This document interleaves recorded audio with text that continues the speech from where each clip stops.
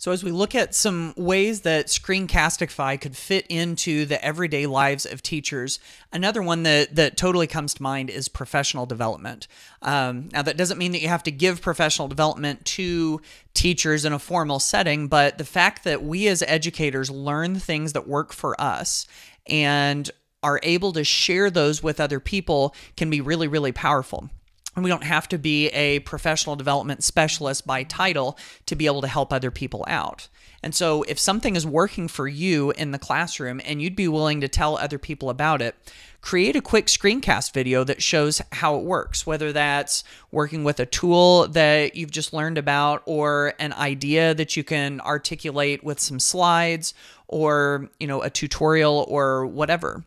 And so, you know, in this instance, what I'm showing you now is a um, sort of like a self-paced uh, presentation uh, way of learning about how to use Google in non-traditional ways. And so I could put these slides up on the screen, start a screencast, and I could walk teachers through some of the non-traditional ways that I like to use some of the Google tools. Now, if you're able to share that either by email, you know, you grab that Google Drive link and you share it either by email with specific colleagues or you know through a, a portal or a learning management system for your whole staff even out on social media uh, we can take what's in our own brains and then be able to make it available to other people.